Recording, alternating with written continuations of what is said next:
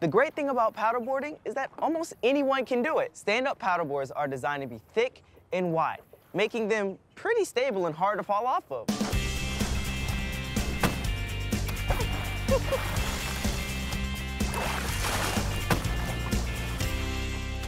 Well, hey, if you're not falling, you're not learning. That's my motto. I didn't know you had a motto. I guess I do have a motto. I love paddleboarding because it's like walking on water.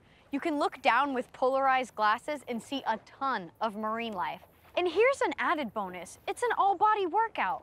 Your arms, legs, core will feel it the next day for sure. So for me, paddleboarding is the ultimate outdoor workout. Let's go over a few tips to get you up and paddling. First, to get up on your board, hold the paddle across your board like this. Then, begin to apply equal pressure with your hands as you begin to position your knees between the handle on the board, as this is almost always in the center of the board. And slowly bring one leg up at a time. Get your balance, then slowly stand up. Bam!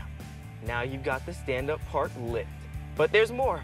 Make an OK sign with your hand. Then slide the handle between your thumb and index finger. Place your fingers over the top of the handle. Grab the paddle with your other hand. You're set to paddle. Bend your knees slightly and take long, strong strokes. Keep your back straight. When you're ready to switch hands, just do this. Okay, now she's just showing off. Check this out. Here are three paddleboarding tips.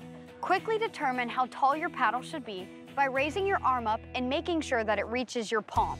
Next, the angle in your paddle should always face away from you.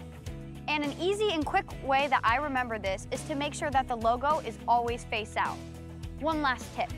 It's likely that you'll fall off your board while you're paddleboarding, but when this happens, no big deal.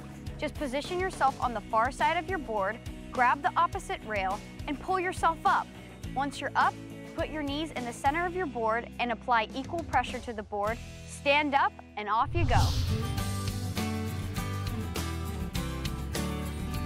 Ooh, let's go in here. Trust me, I know where I'm going.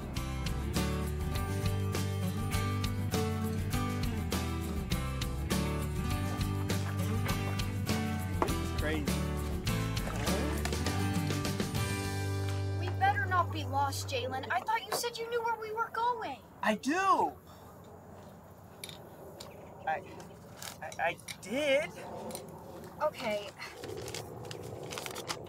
So, if we're right here, follow me. I know how to get us back. Check this out. The U.S. Coast Guard considers a paddleboard a vessel, which means you'll need some safety gear with you at all times. This includes a United States Coast Guard certified life jacket and a sound device, like a whistle or a horn. So yeah, a life jacket and a whistle, and you're good to go.